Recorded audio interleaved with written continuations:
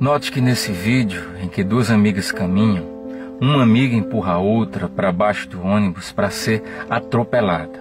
E perceba que no mesmo ato em que ela mesma provocou, ela vem e dá um abraço de consolo, como se ela tivesse tropeçado. Gente, isso só mostra até onde o ser humano é capaz. Portanto, peça a Deus para te livrar desse tipo de gente, porque cada vez mais a gente se convence de que quem caminha ao nosso lado não necessariamente quer o nosso bem. E a maior decepção que alguém pode ter na sua vida, ela vem daquelas pessoas que a gente menos espera. O interessante é que esse tipo de atitude em que eu mostro nesse vídeo, ela acontece com muito mais frequência na nossa vida do que a gente imagina.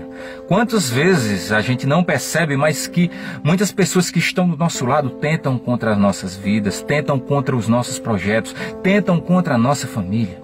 A gente não sabe, mas várias investidas o inimigo ele promove através de pessoas que estão próximas a gente para tentar contra tudo aquilo que a gente tem cultivado, contra os nossos filhos, contra os nossos relacionamentos. E é por isso que a gente sempre tem que estar apegado a Deus. Porque a traição é apenas o primeiro dos três traços negativos do traidor, que começa com a desonestidade, a desigualdade e depois a falta de amor. Sim, as pessoas que não se amam, elas têm a necessidade de promover o desamor nas pessoas que caminham com elas. E é por isso que você sempre tem que estar alerta, você tem que vigiar a si e as pessoas que estão ao teu redor, porque geralmente, gente, você dedica atenção, você dedica zelo e às vezes até teu tempo de uma forma tão consistente em pessoas que você acredita que querem o teu bem. E o que geralmente acontece é que essas pessoas, por não se amarem da mesma forma com que nós nós podemos nos amar, elas tentam contra as nossas vidas, elas tentam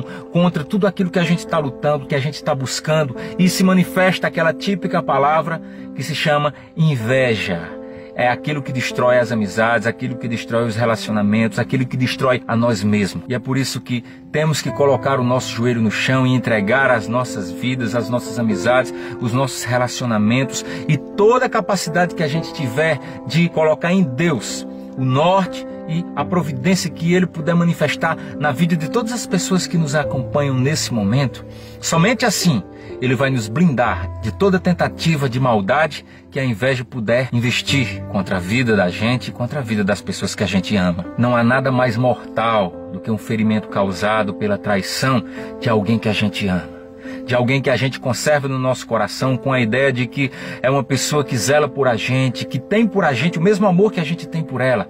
Mas a decepção quando vem dessas pessoas é como uma faca que atravessa o nosso peito e a dor da alma, ela ultrapassa a dor física, porque a dor da alma, ela atinge muito mais a nossa essência do que uma mera dor física. Então que Deus te proteja e te blinde de todas as tentativas em que as pessoas que não te amam, que não se amam, possam investir contra você.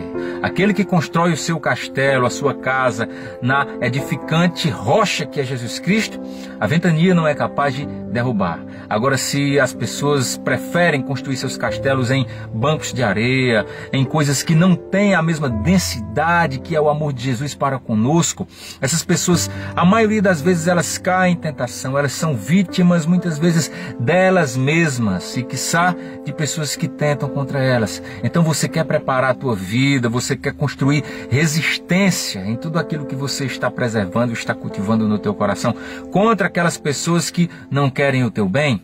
Coloca o teu joelho no chão, entrega a Deus e pede a Ele o discernimento para você enxergar e compreender quem são de fato as pessoas que agregam na tua vida. Você sabe quem são os maiores amigos que a gente pode ter na vida?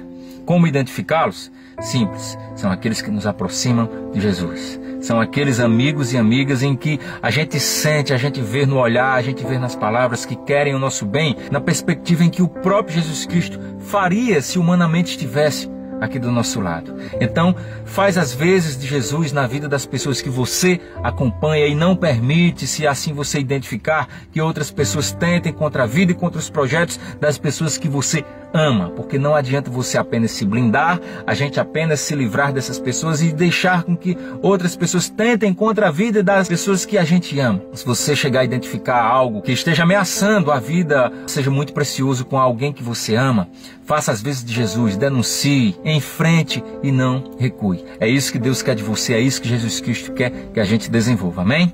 Gente, compartilha esse vídeo, se inscreve aqui no canal, curte a nossa fanpage, coloca o teu comentário. Quero ver se você conhece algum caso que se pareça com algo que eu quis trazer para você nesse vídeo. Se alguém já tentou contra a tua vida, se alguém já tentou contra a tua família, se você já se decepcionou alguma vez na tua vida ao ponto de você sofrer bastante, eu queria que você comentasse aqui, porque cada vez mais que pessoas tomem conhecimento, a gente como um todo, como comunidade, a gente se blinda e se fortalece cada vez mais para a gente lutar e sempre estar cada vez mais perto de Jesus, amém? Se você quer e puder se tornar um apoiador, gente, torne-se um apoiador, clica nesse botão aqui. Você pode se tornar um apoiador aqui da nossa página e me motivar cada vez mais a trazer conteúdo sobre o que de melhor Deus coloca no meu coração para entregar ao teu coração. Que Deus te abençoe, que Deus ilumine a tua vida, que Deus te proteja sobre todas as coisas que tentem contra você. E eu sou Maurício Jorge, esse é o nosso canal.